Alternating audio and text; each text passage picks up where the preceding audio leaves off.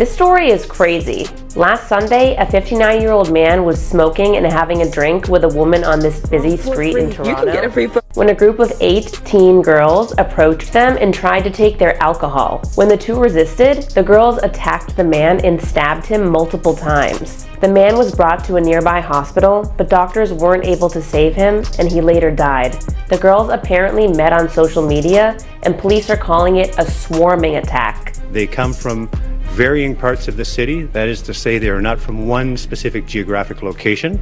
We don't know how or why they met on that evening and why the destination was downtown Toronto. Uh, we don't know. We don't know how long they've been acquainted together with each other, but I wouldn't describe them as a gang at this point. What they are alleged to have occurred that evening would be consistent with what we traditionally call a swarming or swarming type behavior. Police also found weapons as part of their investigation and said three of the girls had contact with police before, while the other five have not. The girls' age range from 13 to 16. Their identities haven't been released because they're all so young, but they're all in custody and are being charged with second degree murder. Police are still investigating, and the girls have a court date set for this week roaming at some odd time of the hours. I mean, you just that's just some kids that age don't need to be fucking doing. So then that's when you start to question who are the parents, who they're supposed to deal with, who's supposed to keep an eye on them. You know what I'm saying? And I hope they don't think the 16 year old, which is old enough to watch them, but if they all like a little posse or something, like like they were saying, they not all from the same area. They all met up. So that's what got me puzzled. Just random people meeting up doing stupid shit. This is what it sounds like. All right, y'all. So we back with a disturbing 911 call now. I think this one, um, then like a foreign country, um, like the UK or France or somewhere. I don't know. But anyway, I hope you guys liking, you know I'm saying, if you've been rocking with me for a little bit, I hope you guys like the content that I'm bringing. Um, as well as the new people who stop by. I appreciate you if you subscribe. You know what I'm saying? It's free. Help me out. Um, like and comment down below. That's how I'm bringing this feedback, so I know, you know what I'm saying, what to bring. And it's just a review and a reaction channel, as well as an informational channel, because crazy shit happen in the news every day. And we need to be informed of what's going on. But anyway, I ain't gonna uh, make this too long, so let's get it. I grabbed the knife off her because I thought she was going to stab me, so I stabbed her back. And I was so heated up with anger, I just kept stabbing and stabbing and stabbing her, and I, I, I took off her head. 57 year old Rita Camilleri was stabbed over 100 times before being brutally decapitated by her own daughter. You mean to tell me this girl stabbed her mother fucking over a hundred times and then goddamn decapitated her head? What type of shit is that? Like, what type of shit is that? And yeah, it do something like that in a foreign country or something, or she just slow. Hell, the bitch is slow and retarded because that's just some shit you don't do. But I ain't gonna code y'all up. Um, we about to get into why she did it and all the craziness about this shit. Jessica Camilleri. In their Sydney home in July 2019, Jessica, covered in her mother's blood, asked a neighbor to call the police. Oh, Hello, this is Alison from Police Emergency. We just received a call from this number. uh, yes, I need you to get the ambulance and the police out here immediately. To which address? Please come. I need you. This is a immediate a life or death situation. Which suburb or town is that in? St. Clair, St. Clair, Okay, St. so- Clair. St Clair, and what's the nearest crossroad, please? Um, what's the nearest one? Listen, can you can you talk to the neighbour? I'm flustered. Can you just talk to him? Uh, Could you? Because my hand's bleeding. Yeah. Thank you. Can you talk to? Oh, oh my finger's broken. I can't. It's all right. Uh, Okay, talk to him. hello? hi, Yeah. what's happened? I don't know. We was just uh, um, stay at home. But, uh, she just uh, uh, come in screaming for help. And when suddenly I opened the door, she said, uh, just help me and call the uh, police or ambulance. And uh, she said to me, uh, she had a fight with uh, her mom, I think. Okay. Um, My mum's tried to stab me, and I killed her. I think. so did she just say her mum tried to stab her? I don't know because of the, Yes. Yeah. With a knife. And I, in self-defense, I think I killed her. customer. Yes. Can you tell him to come immediately? Yeah, can, can you please uh, just come immediately, please? Okay, so she believes that she may have killed her her mother. Yes. Yeah, she said like this, yeah. Yes. And where is this at? Is that where you are at the moment? So, uh, who, uh, me? Yeah. So where are you at the moment? I'm, I'm, I'm in a... Oh, okay, but she's Yeah. is she with you at the moment? Yes. Yeah, she's um, uh, in the front yard of my house. Okay, all right. Uh, so how old's her mother? Uh, how old is your mother? Um, my mum's dead, I think. But how old is she? 57, 57. 57. Fifty-seven.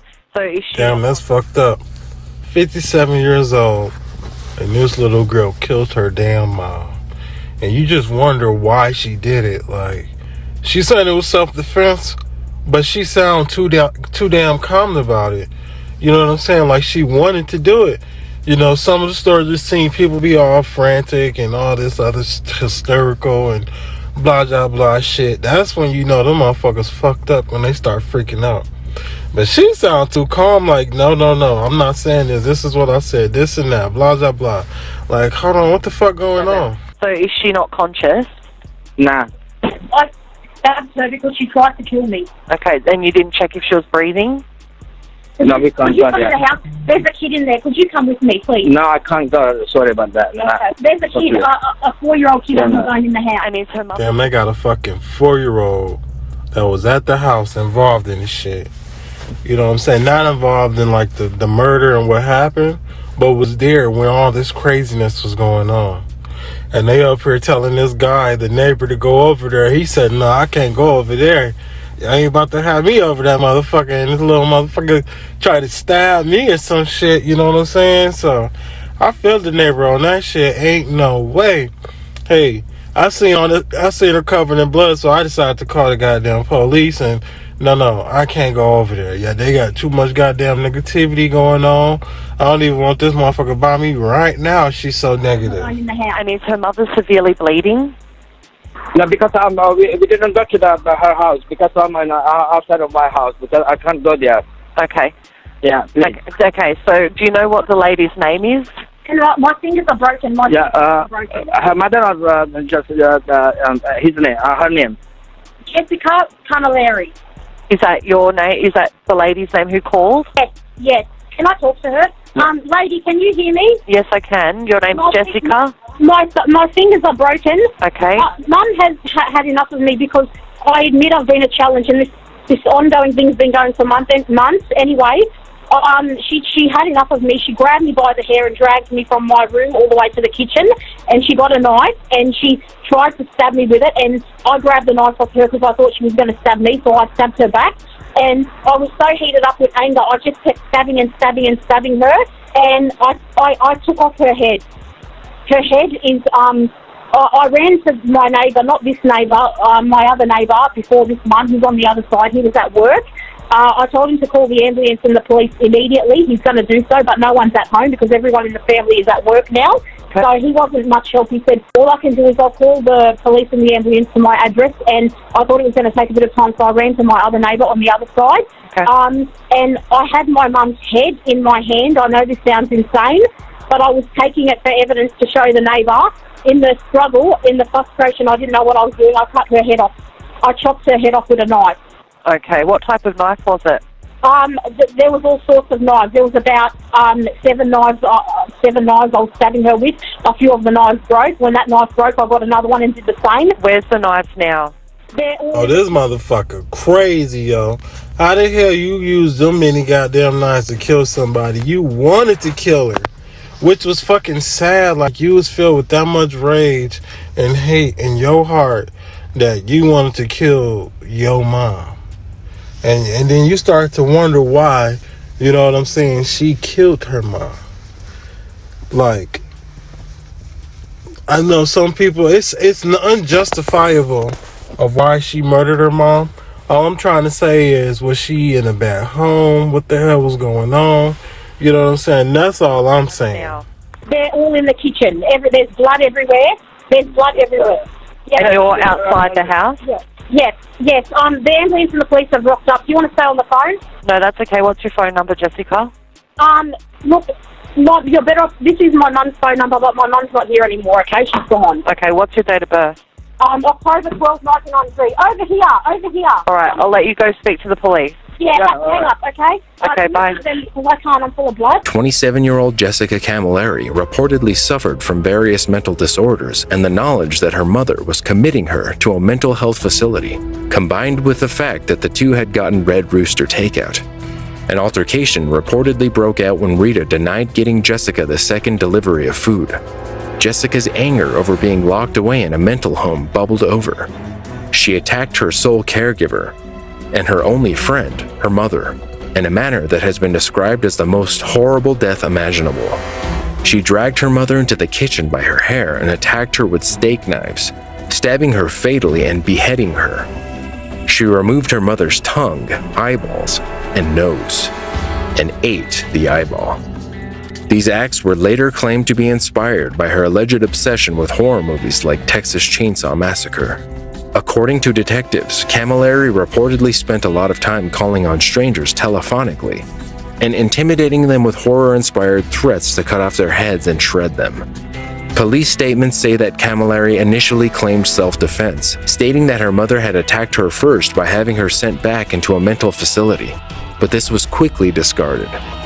Jessica Camilleri was arrested and charged with murder but pleaded not guilty. She contended that she was powerless against her complex and overlapping psychiatric disorders, such as autism, intellectual disabilities, and explosive disorder that allegedly took control of her that fatal night. The charge was then reduced to manslaughter due to the severity of her mental impairment. The prosecution also found that Camilleri was not at all remorseful about her actions. After the ghastly assault, she dropped her mother's head outside their house and reportedly only showed concern for herself and future well being. She did not express any sorrow or remorse for her mother. In March 2021, Jessica Camilleri was sentenced to 21 years and 7 months in prison for the brutal decapitation of her mother. Well, we did not know. I thought it was a little girl. This motherfucker her down 20s and shit. Motherfucker grown as hell. So she just was a fucking mental patient um, who didn't get the proper help that she needed. Now she can never be out in the world again because she could do the same shit to somebody else, or she could be filled with so much guilt that she can motherfucking goddamn hurt her and harm herself.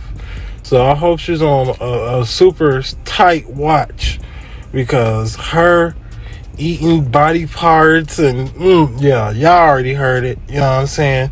I ain't about to go into detail of that because that is just too goddamn much uh, for me.